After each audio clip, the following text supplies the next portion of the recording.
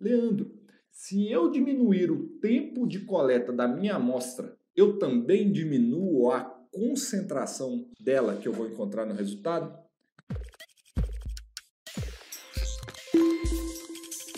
Fala galera, vocês estão respirando bem por aí? Hoje, no episódio do Analytics Responde, eu vou mandar a dúvida de uma conversa que eu tive com um dos nossos alunos do método HFAS de agentes químicos, que foi o Guilherme. E a dúvida dele foi a seguinte: ele precisava diminuir o tempo de coleta porque estava havendo saturação das amostras. O que é saturar? É coletar uma quantidade tão grande que o amostrador não conseguia mais suportar aquela massa de agentes ali coletadas, né? E aí ele me perguntou o seguinte: Leandro, se eu diminuir o tempo de coleta da minha amostra, eu também diminuo a concentração dela que eu vou encontrar no resultado? E aí, pessoal, o que vocês acham dessa resposta? Bom, vamos lá. O primeiro conceito que a gente tem que fazer aqui do Analytics Responde e para responder essa pergunta é o seguinte: o que, que é concentração? Nos Analytics Responde anteriores, a gente teve aí um, vários, um dos bem famosos aí, que foi o que eu expliquei como que é concentração. Relembrando, concentração é igual a massa dividido pelo volume. Ou seja, Quanto maior a massa, eu tendo a ter uma maior concentração. Quanto maior o volume, eu tendo a ter uma menor concentração. Então, o que, que acontece? Se eu diminuir o tempo de coleta, eu vou alterar a concentração? A primeira coisa que a gente tem que entender é que quando a gente está falando de tempo de coleta, eu estou falando de uma média ponderada no tempo. Ou seja, essas flutuações que vão ocorrer aí, no final, vai computar para que esse resultado esteja em uma média. Uma média mesmo. Então, o que acontece? Vamos partir do pressuposto, então, que essa concentração ela é fixa. Então, o que, que acontece? O volume ele está diretamente relacionado ao tempo de coleta. Por quê? A vazão é igual ao volume dividido pelo tempo. Se eu quero achar o tempo, eu tenho volume dividido pela vazão.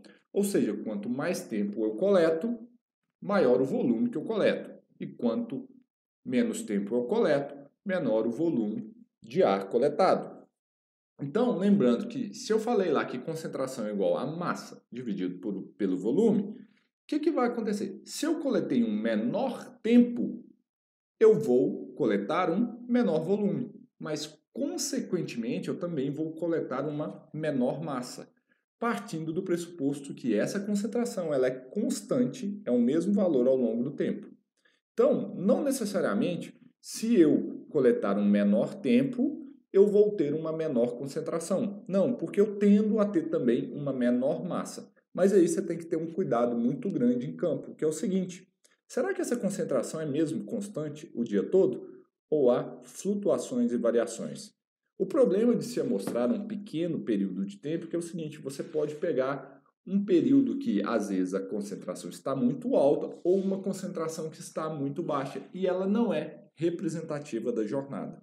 Então, esse cuidado você tem que ter, que se você coletar a jornada inteira ou uma boa parte dessa jornada, ele já vai computar o resultado final nessa média. Então, havendo essas variações normais ou e essa concentração sendo relativamente constante, na verdade, se você diminuir o tempo de coleta, você vai só diminuir a massa amostrada e, consequentemente, a concentração tende a ficar constante. Mas cuidado em processos em que essa variação dessa concentração ao longo do processo é muito grande, porque aí você não consegue ter uma representatividade disso. Gostou desse vídeo? Gostou dessa dica? Está feliz com a volta do Analytics Responde?